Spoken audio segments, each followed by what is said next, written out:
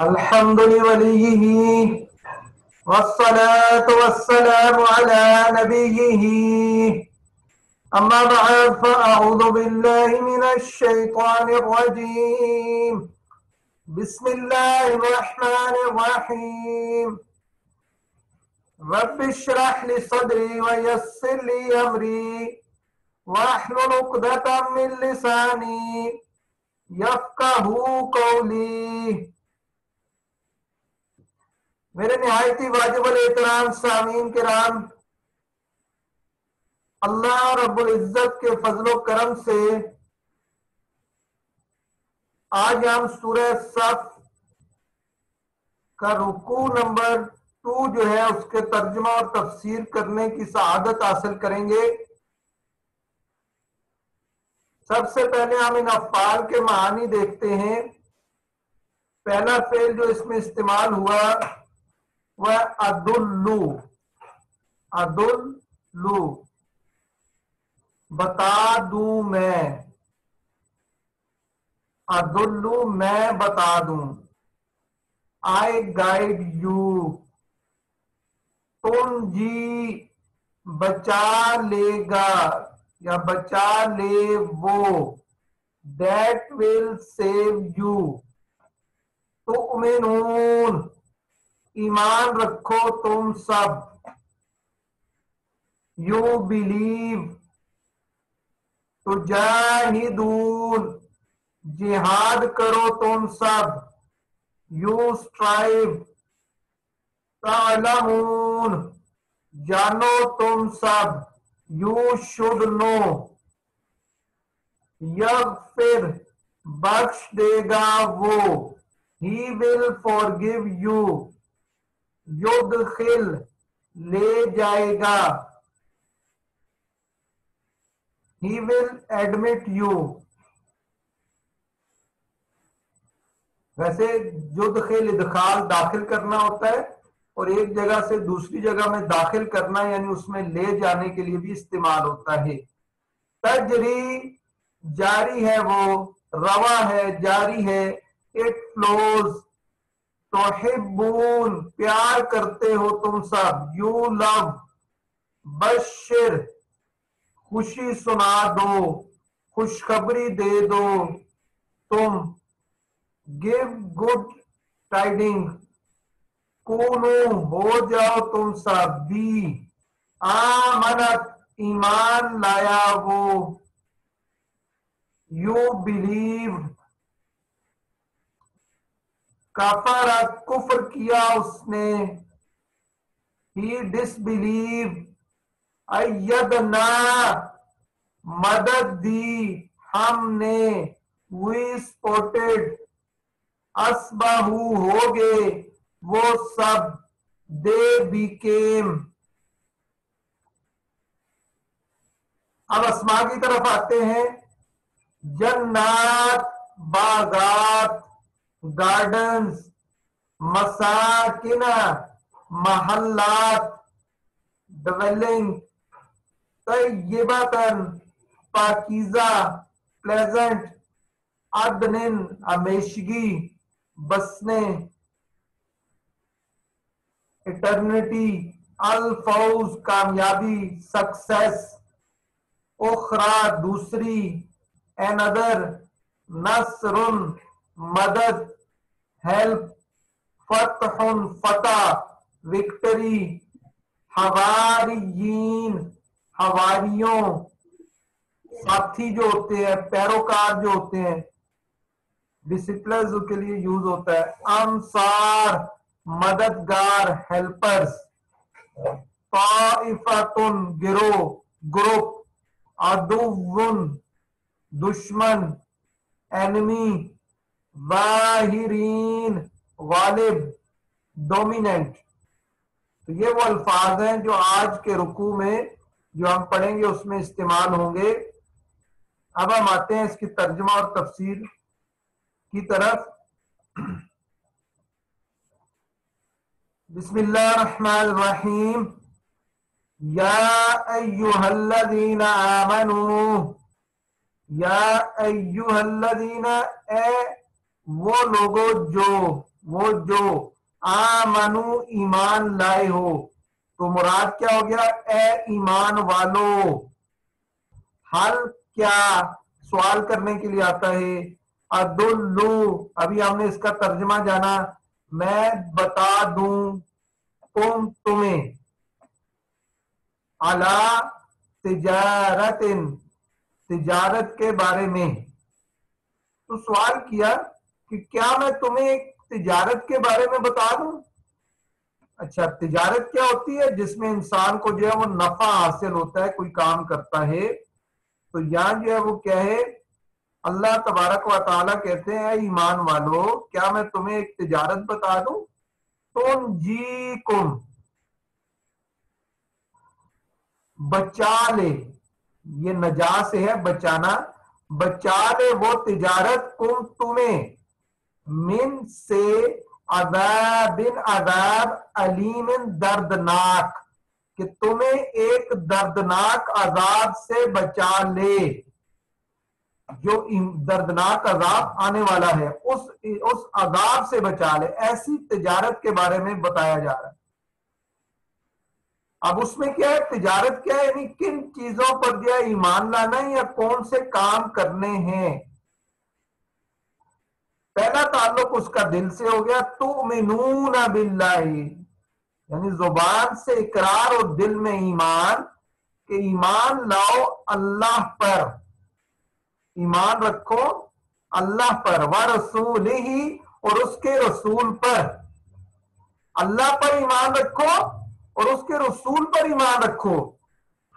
व तुजाहिदूना और जिहाद करो तुम फ़ी सबील अल्लाह के रास्ते में। अब जिहाद कैसे होता है? वालिको अपने मालों के साथ, व अनफुसिकुम और अपनी जानों के साथ। तो अपनी जानों और मालों के साथ अल्लाह की राह में जो जिहाद करो। तो ईमान लाओ। ईमान के बाद जो वो क्या बताया कि जिहाद करो। जान और माल अल्लाह की राह में देने के लिए तैयार हो जाओ। वैलिकुम ये जो चीज़ें हैं, ईमान लाना और अल्लाह की राह में जानो माल से जिहाद करना खैर बेहतर है लाकुम तुम्हारे लिए। इन कुन तुम का अलमून अगर तुम जानते हो, इल्म रखते हो तो अगर तुम जानो और इल्म रखो तो ये तुम्हारे लिए बेहतर है। अब इस करने से ये चीज़ें क्या मिलेगा? ईमान लाने और जिहाद फिलमाल और जिहाद जो है, वो क्या है? दिल जान देन करने से या गफिर लकुम, बख्श देगा वो। यानी अल्लाह ताला, लकुम तुम्हारे लिए, जुनूबकुम तुम्हारे गुनाहों को। तुम्हारे जितने है उनको बख्श देगा। और युद्ध खिल और दाखिल करेगा तुम्हें जन्नात इन बागात में।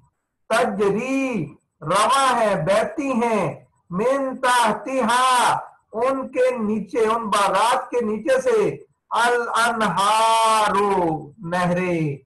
ऐसे बागात हैं, बागों में जब नहरें भी आ जाए तो उसका हुस्न और दोबारा हो जाता है। मसाकिना, और उसमें मसाकिन है, यानी महल्लात हैं, घर है, बिल्डिंग है, इमारत है। तयबा तन, वो पाकिजा। पाकिजा रिहाइश गाय। जन्नातिन, जन्नाति अदनिन, बागात में अदन के। अदन कहते हैं, वो बात जो हमेशा अदन हमेशा जन्नत जो हमेशगी वाली है, बसने वाली है उसके लिए। तो हमेशा जो उसमें रहने वाले हैं। अल्फौजुल आजीम ये है बड़ी कामयाबी, अल्फोज कामयाबी, अल आजीम बड़ी, जो जन्नत में चला गया, उसके लिए बड़ी कामयाबी है। और आज हम लोग सोचते हैं, पूछते हैं कि दुनिया में कामयाब कौन हुआ? तो कुरान ये कहता है कि कामयाबी जो है वो आखरत की काम। दुनिया गुजर जाती है, माल कम है, जॉब नहीं है, कोई मसला है, जैसे भी है, अल्लाह तबारक व ताला का शुक्र अदा करें और दुनिया गुजर गई। और कामयाबी असल वो है कि आखिरत में इंसान कामयाब हो जाए। तो अब इस आयत और इसके बाद वाली दो आयात का खुलासा ये है कि ईमान वालों, क्या मैं तुम्हें वो तिजारत बता दूँ जो तुम्हें दर्दनाक अजाब से बचा ले? सुनो, वो तिजारत ये है कि तुम अल्लाह ताला और उसके रसूल सल्लल्लाहु अलैहि वसल्लम पर ईमान रखने में साबित कदम रहो और अल्लाह ताला की राह में अपने मानों और अपनी जानों के साथ जिहाद करो। अगर तुम अपना हकीकी नफा जानते हो तो ईमान पर साबित साबित कदम रहना और जिहाद करना तुम्हारे लिए जान, मान और हर एक चीज़ से बेहतर है। और अगर ऐसा करोगे तो अल्लाह ताला तुम्हारे दुनिया में किए हुए गुनाह बख्श देगा। और क्यामत के दिन तुम्हें उन बागों में दाखिल फरमाएगा जिनके नीचे नहरें, रवा है और पाकिजा रिहाइश गाँव में दाखिल फरमाएगा, जो हमेशा रहने के बागों में है।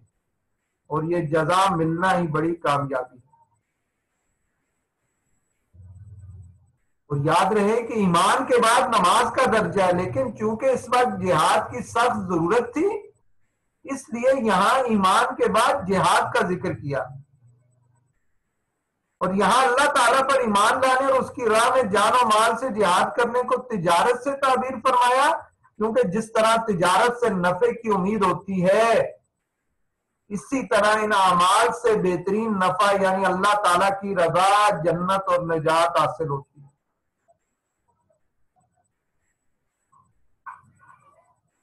तो इससे ये पता चला कि मुजाहिद के सारे गुनाह बख्श दिए जाते हैं।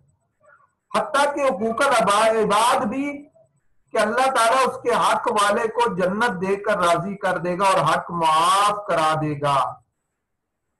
दुनिया में अमीर और वज़ीर बन जाना बड़ी कामयाबी नहीं, बल्कि बड़ी कामयाबी यह है कि बंदा दुनिया में नेकियों नेकियों की और और जन्नत और वहाँ की नेमतों का मुस्तहिक हो जाए।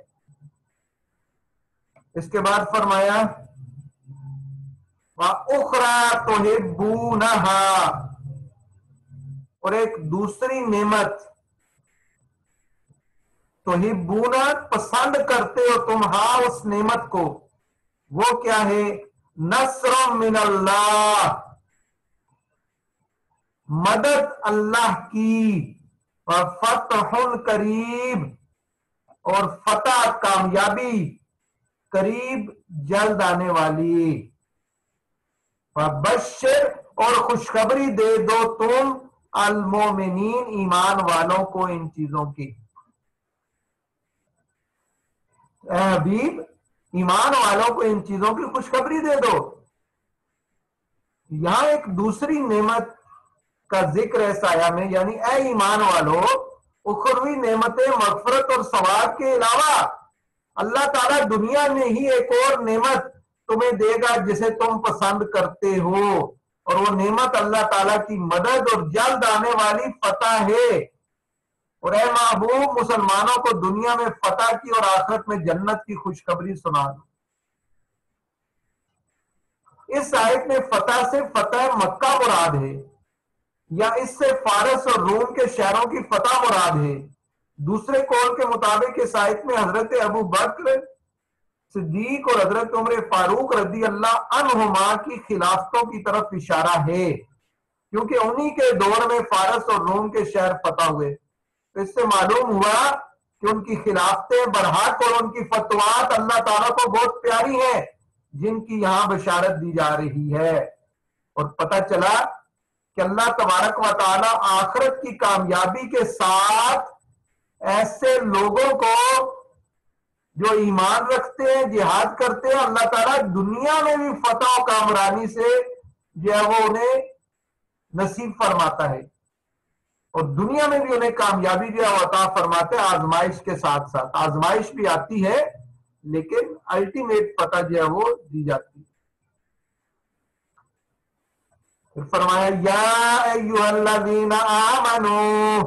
ए ईमान वालो, कोनो हो जाओ तुम अंसार अल्लाह, अंसार मददगार अल्लाह ही अल्लाह के। ऐ ईमान वालों, अल्लाह के दीन के मददगार बन जाओ। अल्लाह के मददगार से क्या मुराद है? अल्लाह के दीन के मददगार बन जाओ।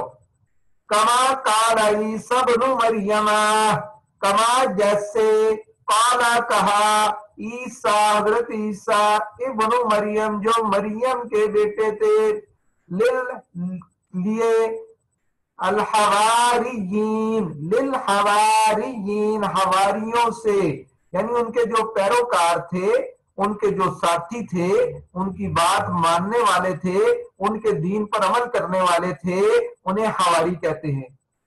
तो हज़रत ईसा सलाम ने अपने हवारियों से कहा था मन कौन है? अंसारी, मेरा मददगार। आखिर में जो या जमीर है, अंसार मददगार। या का क्या मतलब है? मेरा। मेरा मददगार इल्लाही अल्लाह की तरफ़। मुराद क्या हुआ? कि हम अल्लाह के दीन के मददगार हैं। फिर क्या हुआ? काल हवारी योना हवारियों ने कहा नखनु अंसारुल्लाही हम मददगार हैं, हम हैं अल्लाह के मददगार, यानी अल्लाह के दीन के मददगार हैं। ताइफतुन, पस ईमान लाया एक ताइफा, एक गिरोह मिन बनी इसराइल बनी इसराइल में से बनी इसराइल में से एक ग्रोह, हज़रत ईसा की तालीमत पर, हज़रत ईसा के नबी होने पर ईमान लाया। और उन्होंने जो कुछ फरमाया, वो सब कुछ दिया, उसके लिए सर तस्लीम खम कर दिया। और इनकार किया एक गिरोह ने। तो दो गिरोह बन गए। अयदना पापस अयदना मदद दी हमने। अल्लाह दीन आमनु, वो जो ईमान लाए, अला दुविहिम उनके दुश्मनों पर। असबहू पस हो गए वो गायरीन गालिब। तो जब हमने मदद दी तो उन पर गालिब आ गए। तो अल्लाह की मदद से वो क्या है? गालिब आ गए। तो इस आखिरी आया मुबारक में फरमाया, या आमनु, कौन अंसार अल्लाह वालो, अल्लाह के दीन के मददगार बन जाओ। लेकिन दीन का काम करना, दीन को फैलाना, इसको अल्लाह ताला अपनी मदद से जो है ताबीर कर रहा है। हालाँकि अल्लाह तबारक व ताला को किसी की मदद ज़रूरत नहीं है, किसी की मदद नहीं चाहिए। अल्लाह रब्बुल इज़्ज़त बेनियाज है, लेकिन ये हमारे ही फ़ायदे के लिए है। इस साइड में मुसलमानों को दीन की मदद करने और मुखालिफिन के सियाद जिहाद करने की तरगीब दी जा रही है। इस आयत का खुलासा यह है, क्या ईमान वालों, अल्लाह ताला के दीन के मददगार बन जाओ। जैसे हज़रत ईसा के हवारियों ने उस वक्त अल्लाह ताला के दीन की मदद की थी। जब हज़रत ईसा ने हवारियों से फरमाया था कौन है जो अल्लाह ताला की तरफ़ होकर मेरी मदद करें? तो हवारियों ने अर्ज़ किया, हम अल्लाह ताला के दीन के मददगार हैं। तो बनी इसराइल से एक ग्रोह हज़रत ईसा सलात सलाम पर ईमान लाया और एक ग्रोह ने कुफर किया, दो गिरोह बन गए। इन दोनों में जंग हुई तो हमने, यानी अल्लाह ताला ने ईमान वालों को, उनके दुश्मनों पर मदद दी तो ईमान वाले गालिब आ गए तो आयत के इस हिस्से में जब हज़रत ईसा इस्लाम आसमान पर उठा लिए गए तो उनकी कौम तीन फिरकों में जो मुनकसिम हो गई। ये साया की तफसीर में एक फिरके ने हज़रत ईसा इस्लाम के बारे में कहा, वो अल्लाह था अल्लाह था नौजुल्ला आसमान पर चला गया। दूसरे फिरके ने कहा, वो अल्लाह ताला का बेटा था, उसने अपने पास बुला लिया। तीसरे फिरके ने कहा वो अल्लाह ताला के बंदे और उसके रसूल थे। उसने उठा लिया। ये तीसरा फिरके, फिरके वाले मोमिन थे और उनके उन दोनों फिरकों से जंग रही और काफिर ग्रोह उन पर गालिब रही। तो यहाँ जो है इस एतबार से इन तीन को दो में तकसीम किया एक ईमान वाले और दूसरे दोनों के आते कुफर वाले। आगे कुफर की दोनों की नोयत डिफरेंट थी। दोनों की सिचुएशन डिफरेंट थी, इसलिए उसको तीन ग्रोह भी कहते हैं और कुफर के एतबार से दो ग्रोह बन गए। तो उस वक्त ईमानदार ग्रोह उन काफरों पर गालिब हुआ। तो अब इससे यह पता चला कि हमने मोहम्मद मुस्तफ़ा सल्लल्लाहु अलैहि वसल्लम की तस्दीक करने से हज़रत ईसा सलाम पर ईमान वालों की मदद फरमाई। इस आयत की बरकत से ये लोग काफरों पर गालिब हो गए। और इस आयत मुबारक से ये भी तीन बातें मालूम हुई कि मुसीबत के वक्त अल्लाह ताला के बंदों से मदद मांगना अंबिया किराम अलैहिस्सलाम की अलैहिस्सलाम की सुन्नत है। ये शिरक नहीं है। ईसाइयों को नसारा इसलिए भी कहा जाता है कि उनके अबाव अजदाद ने हज़रत ईसा से कहा, नहनु अंसारुल्लाह। और अल्लाह ताला के प्यारों की मदद करना और दर हकीकत अल्लाह ताला के दीन की मदद करना है। क्योंकि हवारियों ने हज़रत ईसा सलाम की मदद की थी। मगर अर्ज़ की कि हम अल्लाह के मददगार हैं। इस तरह अल्लाह वालों की अल्लाह के चाहने वालों की मदद करना ऐसे ही है कि अल्लाह तबारक व ताला के साथ जो है मदद की मदद की, यानी अल्लाह की जो है वो उसको खुशनुदी हासिल हो गई, अल्लाह की ताईद हासिल हो गई कि अल्लाह को तो किसी की मदद की ज़रूरत नहीं है। वो तो हर एक की मदद से बेनियाज है, लेकिन उसने एक तरीका कार बनाया है, एक उसूल बनाया है कि दीन इस्लाम को फैलाना है तो वो लोगों की ही मेहनत से फैलाना है। दीन को दूसरों तक पहुंचाना है तो इसी मेहनत और कोशिश से बचाना है, पहुंचाना है। इसलिए दीन इस्लाम को फैलाने में मदद करना, उन जो है वो तंजीमात की जो हक पर है, उन लोगों की जो हक पर है और दीन की दावत देते हैं, उनकी मदद करना जो है वो इसी आया के जो है वो जुमरे में आता है कि जिससे अल्लाह की मदद की, यानी अल्लाह की ताईद और नुसरत हासिल की और अल्लाह तबारक व की खुशनुदी हासिल की। तो अल्लाह तबारक व से दुआ है कि जो कुछ सुना इस पर अमल करने और दूसरों तक पहुँचाने की तोफीक अता फरमाए। जो भी हाजरीन है, इनकी मसाइब, इनकी तकलीफ़, इनके दुख, इनकी परेशानियाँ सबको जो है वो दूर फरमाए और जिनके वालदेन दुनिया से चले गए, उनके वालदेन की मफरत फरमा के उन्हें आला दर्जा और आला मकाम अता फरमाए। वमा अलैना बलाग